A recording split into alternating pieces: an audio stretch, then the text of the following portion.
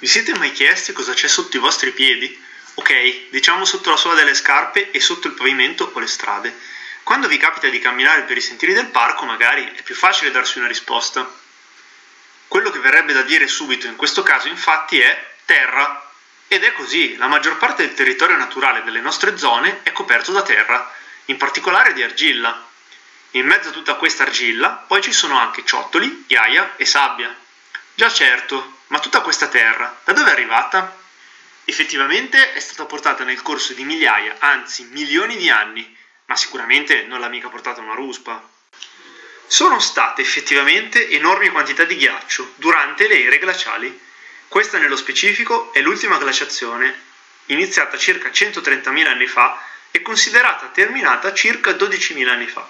Tutto questo non è paragonabile al ghiaccio del nostro congelatore e sicuramente neanche a quello che si forma durante l'inverno. Provate però a pensare quanto peserà tutto quel ghiaccio.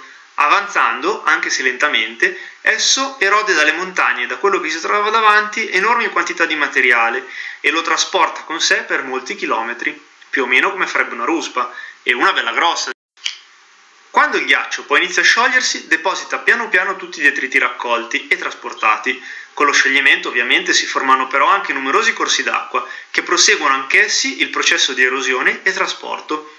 Ecco che abbiamo risposto alla domanda cosa ci fanno tutti questi sassi, sabbia e argilla il territorio del Parco Pani, quindi, è il frutto della modellazione fluvio-glaciale ad opera proprio della continua erosione e trasporto da parte di ghiacciai e fiumi o torrenti. Un occhio attento può ancora trovare le tracce di tutto questo, come i terrazzi e le colline moreniche che danno l'aspetto su più livelli all'Alta Brianza e, ovviamente, il torrente Molgora che mostra gli strati di suolo e le rocce sottostanti, dette conglomerati. Abbiamo capito inoltre che i sassi che troviamo in giro da queste parti si sono fatti un bel viaggio prima di arrivare fino da noi, ma non è nulla in rapporto alla vita intera che può avere una di queste rocce.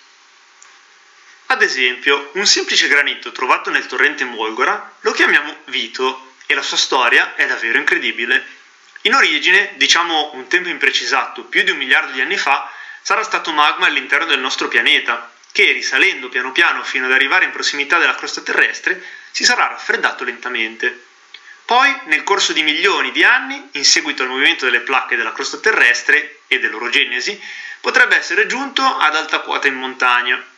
Lì sarà rimasto per migliaia di anni, lavato dalla pioggia, dalla neve e spazzato dal vento, finché il ghiacciaio un giorno lo ha staccato dalla roccia e lo ha trasportato con sé durante la sua avanzata, per depositarlo infine da qualche parte nei pressi di quello che ora è il torrente Molgora.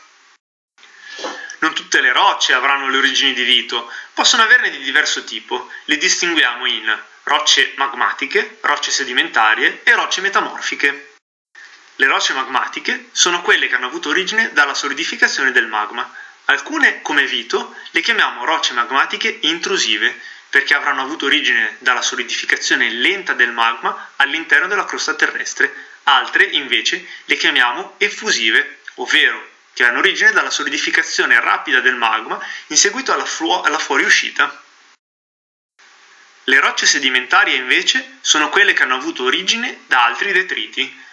In precedenza, prima di diventare delle vere e proprie rocce, magari erano detriti di argilla, di sabbia o di ghiaia. Le rocce metamorfiche, infine, come dice la parola stessa, sono rocce che si sono trasformate a causa di pressione e temperatura molto molto alte. Ebbene sì, quello che vediamo oggi è il risultato microscopico di milioni e milioni di anni di avvenimenti precedenti che si sono susseguiti uno dopo l'altro fino a dare origine quello che abbiamo davanti ai nostri occhi e quello su cui camminiamo.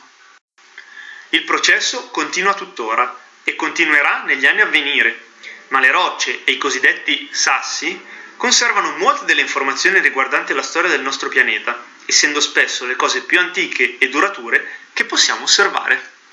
Quando passeggiamo per i sentieri del Parco Pane, teniamo conto quindi di tutto questo e proviamo a ricordare i milioni di anni che sono servite per dare origine a quello che vediamo oggi.